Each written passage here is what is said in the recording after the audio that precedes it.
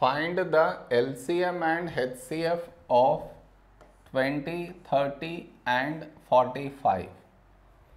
To find the HCF and LCM, first we should do the prime factorization of each number separately. That is C. 20, 30, 45.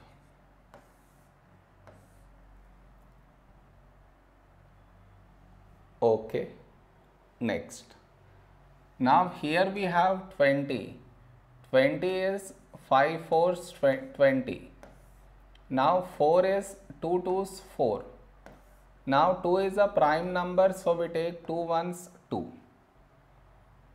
Now here we have 30. 30 is 5 6 30. Now 6 is 2 3 6. Now 3 is a prime number so we take 3 ones 3. Now here we have 45.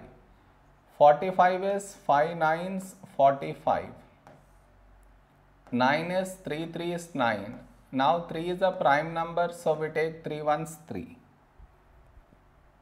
So now our HCF is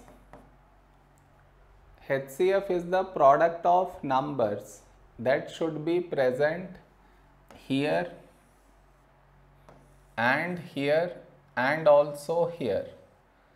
So now we should find the numbers that should be present here and here and also here. I repeat, we should find the numbers that should be present here and here and also here. So let us find starting with the number 5. Do we have 5 here? Yes. So next place, do we have 5 here? Yes. So you cut 5 right here. Next number is 2. Do we have 2 here? Yes. So next place, do we have 2 here? No. Okay, so go to the next number 2. Do we have 2 here? Yes, but 2 we don't have in the next place. So no more numbers are left. Therefore, only one number 5 is present in all the three places. So it is our HCF. I repeat, only one number 5 is present in all the three places. So this is our HCF. Now to get LCM, to the number that you got as HCF, to that number we should multiply by certain numbers. How do we decide those numbers? See. Here 5 is cut, leave it. Here 2, 2 we have. Do we have next place? Do we have 2 here? Yes.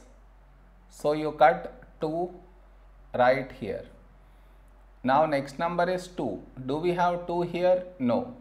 Next place, do we have 2 here? No. Still you cut 2 right here. Now here 3 is not cut. Do we have 3 here? Yes. So you cut 3 right here. Now here 3 is not cut. So you cut 3 and right here. Now each number has been cut.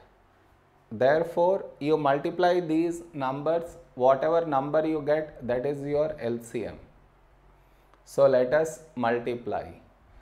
That is 5 into 2, 10, 10 into 2, 20, 20 into 3, 60, 60 into 3, 180.